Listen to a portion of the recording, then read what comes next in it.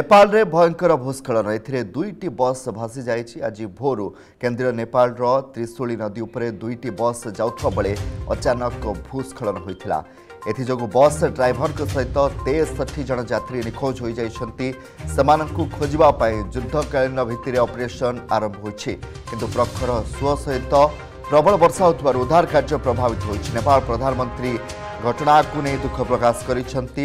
ଲଗାଣ ବର୍ଷା ପରେ ନେପାଳର ବିଭିନ୍ନ ସ୍ଥାନରେ ଭୂସ୍ଖଳନ ହେଉଥିବାର ଖବର ସାମ୍ନାକୁ ଆସୁଛି ପ୍ରଶାସନ ପକ୍ଷରୁ ଉଦ୍ଧାର ଏବଂ ରିଲିଫ୍ କାର୍ଯ୍ୟକୁ ତ୍ୱରାନ୍ୱିତ କରିବା ପାଇଁ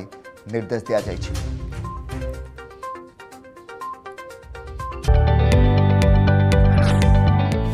ଯଦି ଆପଣଙ୍କୁ ଆମ ଭିଡ଼ିଓଟି ଭଲ ଲାଗିଲା ତେବେ ଆମ ଚ୍ୟାନେଲକୁ ଲାଇକ୍ ସେୟାର ଓ ସବସ୍କ୍ରାଇବ୍ କରିବାକୁ ଜମା ବି ଭୁଲନ୍ତୁ ନାହିଁ